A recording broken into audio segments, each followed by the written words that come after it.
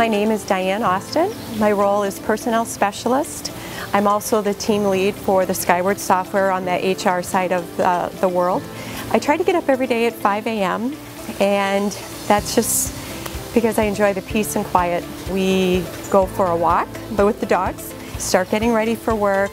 Um, I arrive at work around 8.30. I then check my voicemail, my email, and then the phone starts ringing and people start stopping by and asking for questions. A lot of what I do is Skyward support, um, whether that be with the on the HR side with uh, Skyward TrueTime, uh, with timesheets, time off requests, task manager.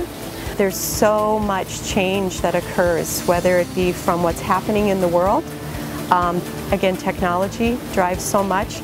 And as that's all happening in the classrooms, that has a major impact what happens in a, you know, what changes need to occur in a district office, how we need to adapt as well. To stop for lunch, it's just really hard for me to get back into the swing of it afterwards, so I kind of just work right through. Another major role that I have is onboarding for support staff. You would think as a school district that most of your onboarding is done before school starts. Well, with support staff, it's never ending. So Rarely does a day go by that I'm not meeting with a new hire doing an onboarding meeting. When you're hiring support staff, these are people who typically have other positions and so if they're having to give a two-week notice, the last thing that they want to ask their employer that they're leaving is, hey, I need a couple of hours off so I can go meet with my new employer. So what I try to offer the new support staff employees is, hey, I'll be around our office as late as you need me to be. What you need to do when you're in a career, no one's going to hold your hand and say, okay, did you learn the latest and the greatest of this? Are you aware of this? Um, you need to keep your eyes open, your ears open, your mind open to change. And you have to push yourself so that um, you're prepared for whatever change that your job may have. My initial position with the school district, I was a special ed paraeducator. That was the position that um, was the most um, amazing position I've ever had, and I rarely can talk about it without choking up just because the students I worked with, um, I think they were angels and they taught me more about life than anything.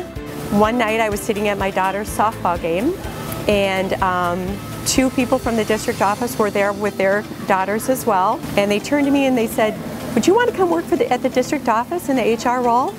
And they offered it to me temporary. That temporary position um, wasn't so temporary because as I said, I've been in there for 14 years. when I look back to what it was initially to what it is today, all the changes that have taken place, it's phenomenal. When I get home, I usually get home before my husband. Um, our dogs are pugs, so when I open the door, I get pugged, which is like one of the best parts of my day. Um, so right away, we got to go for another walk. Um, and actually, when I get, get back from that walk, I get ready for the next day. I uh, make my smoothie, get my coffee ready. If it's nice outside, you'll see me outside till the sun comes goes down. Flower gardening, yard work, meeting with neighbors, that kind of thing. You know, when you meet with a new employee, that's a life-changing event to get a new job. And to be a part of that, um, it's always full of laughter and excitement. And um, I do what I can to make them feel that they made the right choice into coming into our district and making them feel as welcome as possible. Yeah, that's my favorite part.